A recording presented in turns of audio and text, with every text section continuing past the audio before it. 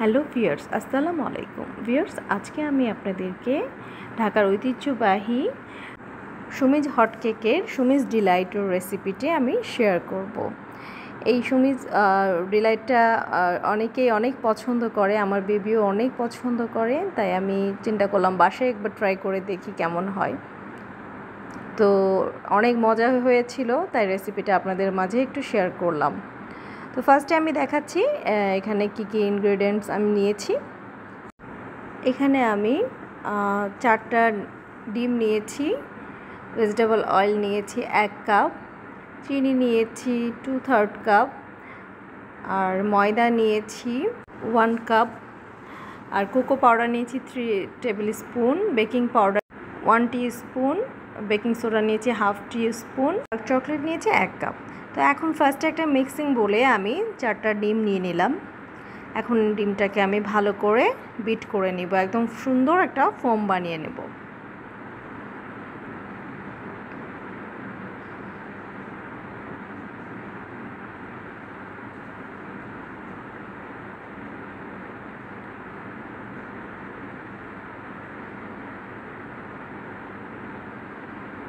এখন আমি চিনিটা দিয়ে দিলাম এর মধ্যে। দিয়ে আবার বিট করব।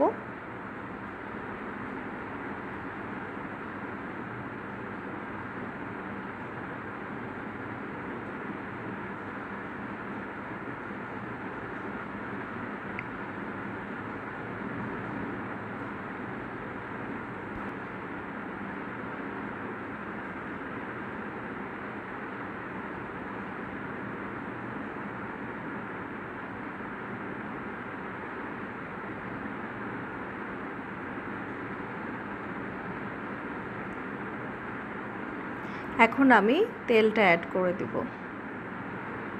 দিয়ে আবার ভালো করে বিট করে নিব।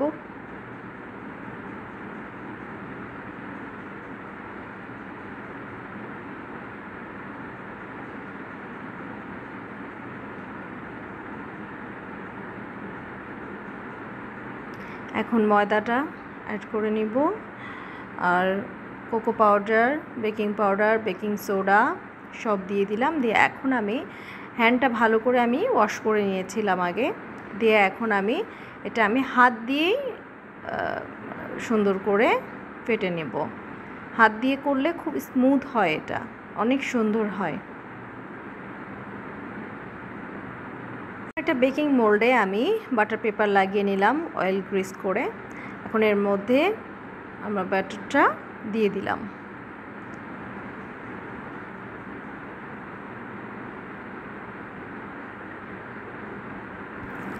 এখন এটা একটু ট্যাপ করে নিব। করে নিলে এর ভেতরে কোনো এয়ার থাকলে সেটা বের হয়ে যায়। ব্রাউনিটা আমাদের হয়ে গেল। এখন ব্রাউনিটা আমরা ঠান্ডা করে নিলাম কিছুক্ষণ। প্রায় বিশ মিনিট মতন আমি রেখে দিয়েছিলাম, ঠান্ডা করে নিয়েছি এটাকে। এখন আমি একটা গানাশ দিয়ে দিচ্ছি এর উপরে। চকলেট গানাশটা খুবই ইজি ভিয়ার্স এখানে জাস্ট আমি এক কাপ ডার্ক চকলেট নিয়েছিলাম, ওটাকে একটা বাটিতে করে নিচে একটা পানি, গরম পানির একটা পাত্র রেখে তার উপরে একটা বাটির উপরে এই এক কাপ চকলেটটা দিয়ে দিতে হয়, দিয়ে চকলেটটা একটু মেল্ট করে নিতে হয়। আর এর মধ্যে আমি জাস্ট এক চা চামচ মতন একটু অয়েল অ্যাড করেছি সয়াবিন অয়েল বাস আর কিছু না। দিয়ে একটু হালকা এটাকে একটু ঠান্ডা হতে দিতে হয়। তারপরে এটা আমরা কেকের উপরে দিব। তো কেকের উপরে আমি দিয়ে দিলাম চকলেট গানাশটা। এখন গানাশটা লাগানোর পরে এখন আমি এটাকে ঠান্ডা হওয়ার জন্য প্রায় এক ঘণ্টা মতন রেখে দেব। ঠান্ডা হলে তারপরে আমি এটাকে কেটে দেখাবো আপনাদেরকে।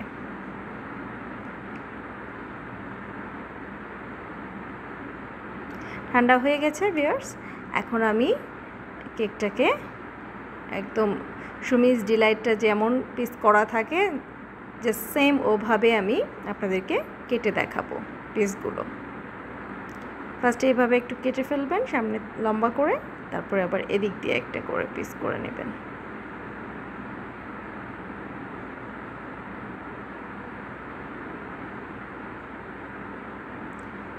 তো রেডি হয়ে গেল আমাদের সুমিজ ডিলাইট।